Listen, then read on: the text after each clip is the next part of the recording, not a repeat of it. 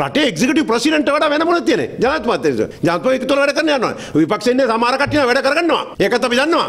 රජෙත් එක්ක එකතොල ජනාධිපති එක්කතොල මේක කොහොමද කරගෙන යන්නේ කතා කරන යන්නේ මේ වරදක් නැහැ මගේ ජනතාවත් කියනවා. ගිහලා අපිට වැඩක් යාපතක් කරන්න කියලා. ඒ සම්බන්ධව එතුමා එතුමාගේ ජ්‍යෙෂ්ඨ උපදේශක සහ එතුමාගේ ලේකම් අපේ සාකල් රත්නායක අපේ හිටපු ඇමතුවත් එක්ක ඊයේ විශේෂ සාකච්ඡාවක් කරා. මාදිරි උත්තර දෙන්න. මෙතන මේ වඩුවේ යන්න ඕන මෙහා යන්න ඕන කියලා. සියලු දෙනාම එන්න එකතු වෙන්න ඕන ආණ්ඩුවට.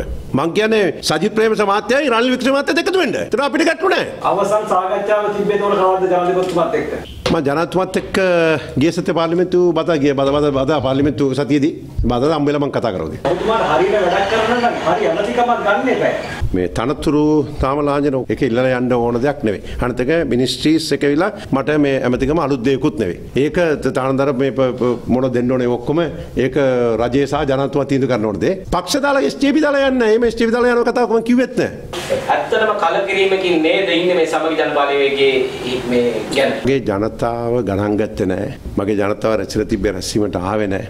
ඒ ජනතාවට ගෞරවයක් දුන්නේ නෑ. රයිට්? ඒ ඒක වෙච්ච දේ සම්බන්ධව එතුමා සමා ඉල්ලුව නැත්නම් ඒ සම්බන්ධ මේ කනගාටු සම්බන්ධ මට ඩිරෙක්ට්ලි කිව්වට මගේ ජනතාව ගිහලා ඉල්ලුවේ නැහැ කියන අමාරුම කියලා තියෙනවා. අපි අවුරුදු 100ක් ජීවත් වෙන්නේ නැහනේ. කෙටි කාලේ ජීවත් වෙනවා. ඒ ලැබෙන අවස්ථාව අරගෙන ජනතාවට වැඩ කරන්න ඕනේ. මේ අතර සමග ජනබලවේගේ පාර්ලිමේන්තු මන්ත්‍රී වඩිවේල් සුරේෂ් මහතාට වතු ජනතාවට සේවය කළ හැකි ඇමතිතුරයක් ලැබෙනු ඇති බව අමාත්‍ය හරින් ප්‍රනාන්දු මහතා ඊයේ පැවති උත්සවයකින් අනතුරුව පැවසූ අතර පක්ෂ විපක්ෂ දේශපාලඥයින්ද ඒ සම්බන්ධයෙන් අදහස් පළ කළා. ඔබතුමා වෙන්ඩ ඇමතුමා ඉන්නවා කිව්වා මොන ඇමතිකම දන්නේ දරන්න. ඔයා කැමති මොකක්ද දෙනවට?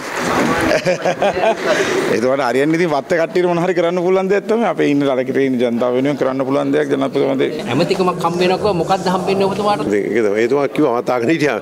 නිවාස හා යටිතල පහසුකම් සංවර්ධන මම දෙන එක ජනාධිපතිතුමා තමයි තීන්දුව කරන්නේ. ජනතාව තීන්දුව කරන්නේ. විශේෂයෙන්ම කඳුකර දෙමළ ජනතාවට තියෙන ප්‍රශ්න දිහා බලනකොට අපි ආණ්ඩුවත් එක්ක ගමන් කරන්න ඕන. වඩුවේ සුරේෂ් මහතාටත් දැන් මොනවද මොනවගේ ඇමතිකමක් ලැබෙන්නේ? ගොඩක් දුරට දැන් කලිනුත් එයා මේ වැවිලි කර්මාන්ත අමාත්‍යාංශයේ හිටියේ. අමාර විට ඒක නැවත ලැබෙයිද දන්නෙත් නැහැ. මොකක්ද ඒකෙන් පෙන්වන්න හදන්නේ? ඇමතිකම කියන එකනේ වැදගත් කියන එක. එච්චරනේ. සමහරු ඇමතිකම් නැති වුනහම විපක්ෂයට එනවා. සමහරු ඇමතිකම් ගන්න ආණ්ඩුවට යනවා. ඒතර මොකද්ද කොමන් ඩිනෝමිනේටර් එක? ඇමතිකම්. මොකක්ද මේ ලැජ්ජ නැති වැඩේ?